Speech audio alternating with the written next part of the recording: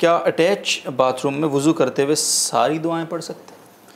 कि अगर वहाँ पर जगह ऐसी हो कि उनमें इम्तियाज़ हो यानी हाइल हो दरमियान में तो ऐसी सूरत में जहाँ पर वज़ू कर रहे होंगे तो दुआ पढ़ सकते हैं। लेकिन अगर इस तरह कोई हायल ना हो दरमियान में और वो दोनों जगह साथ साथ ही हो जिस तरह के आमतौर पर करीब करीब ही दोनों जगह होती है तो ऐसी सूरत में फिर ज़बान से दुआएँ ना पढ़े दिल ही दिल में वो दुआएँ पढ़ें।